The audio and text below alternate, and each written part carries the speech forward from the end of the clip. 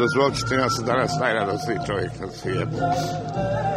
Ovo trenutka sanja od onog momenta kad sam klanio zadnji sabah u njoj, malo prije sam vašem kolegi rekao o tome, a, nije bilo struje pa sam bio na minaretu bez veli i tako dalje, proučio ezan, a, ovaj, i onda sam vidio iz pravca bijeni na, da ne pretiram na hiljade ljudi, četnika i tako dalje, koji su okružili Brezovo polje.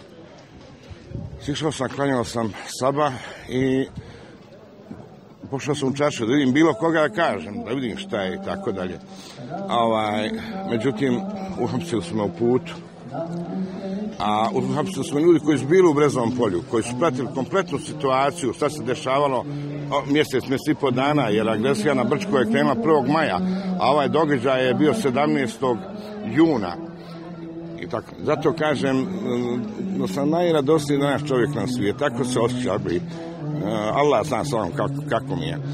A, ja sam sanjao u ovom trenutku od momenta kad sam uhapšen i kad sam ošao u jedan logor, drugi logor, a, dok sam bio pripadnik armije Republike Bosne i Hercegovine, kad sam penzionisan, ja sam sa zijom, ako mogu tako reći, uh, išao u postelju, ustao iz postelje kao vjernik, kad klanjam jaci, ona meni napade. kad ujutru klanjam sama, ona meni napade i tako dalje. I